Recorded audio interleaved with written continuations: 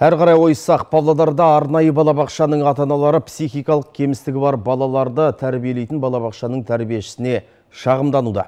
Айтуларынша балалардың денесінен тырнақ іздері мен көгеру деректері анықталған. Келесі күні бірден мекеме басшысына жолығып, ішке бейне бақылау камераларын тексеріпті.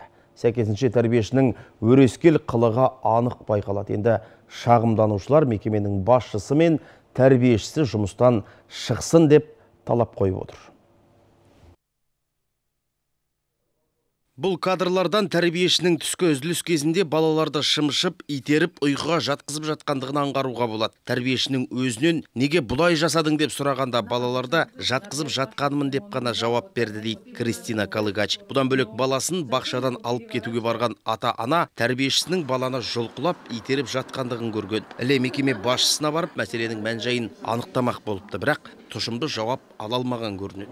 Я в этот момент зашла в группу. Мен топқа кірген кезімде тәрбиешінің ұлыма айқайлап жатқанын көрдім. Ал ол мені көрді де арғы бөлмеге кіріп кетті. Бірден директорға жүгірдім. Бірақ балабақшаның басшысы өз қызметкерін жақтап, олай болу мүмкін емес. Балаларды ұру түгіл қолынан ұстамаймыз дейді. Қазір менің ұлым балабақшаға барғысы келмейді. Ұрсады деп айтады. Өздері енді дамып келе жатқан балаларға айғалауға болмайды ғой. Шағымданушылар бейнежазбаның тек үзіндісін ғана түсіріп алыпты. Қалған жазбалар белгісіз себептермен өшіп қалған. Бұл жағдайды мектепке дейінгі мекеменің директоры камералар істен шыққан деп түсіндірді. Ал тәрбиешінің ерсі қылығын әлі де жоққа шығаруда.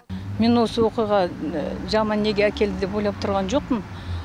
Біз просто тәрбиешіні жұмыстан босаттық. Қазір административный не сонда шығады содан көреміз қандай не шығатынын шешімі. Қазір ештеме мен сіздерге айта алмаймын ол жайында Мұнда білім алатын 81 баланың да жүйке жүйесінде ауытқу бар. Енді ғана өмірге бейімделіп келе жатқан ойын баласы үшін мұндай қарым-қатынас психикалық тұрғыдан ауыр болмақ. Сондықтан ата-аналар тәрбиешілерді жұмыстан босатуды талап етіп отыр.